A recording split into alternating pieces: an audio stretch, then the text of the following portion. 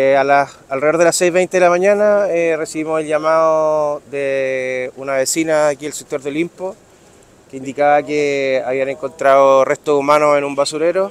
Eh, al ser consultada respecto a las circunstancias, ella nos manifestó que una persona en situación de calle que estaba registrando la basura había encontrado estos restos humanos. Le avisó a ella y ella llamó a Carabineros.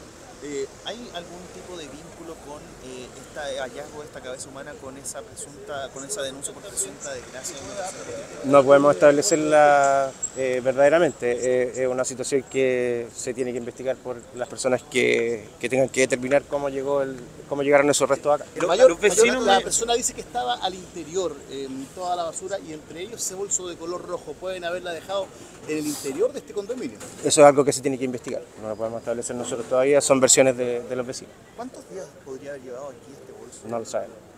Mayor, ¿existe una denuncia presunta desgracia en todo caso acá en Maipú? Hay, hay varias presuntas por denuncia, eh, perdón, denuncias por presunta desgracia. Ah, hay una que podría estar ligada a esta, pero como le digo, eso es una situación que nosotros estamos lugubrando, no es nada, nada certero. ¿Por qué? ¿Por el sector? Eh, eh, sí, sí.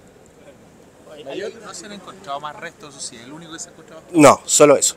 ¿Se sabe de esta persona que hace el hallazgo, de esta persona en condición de calle o no se la ha podido ubicar? No, no se la ha podido ubicar, tenemos su identificación de todas formas. Porque dicen que él estaba manipulando el carro desde el día de ayer incluso. Eh, no lo sabemos, o sea, podría ser, habría que establecer, digamos, esa situación. ¿Concurre la brigada de homicidio a trabajar en...? Sí, la brigada de homicidios por instrucción de la Fiscalía.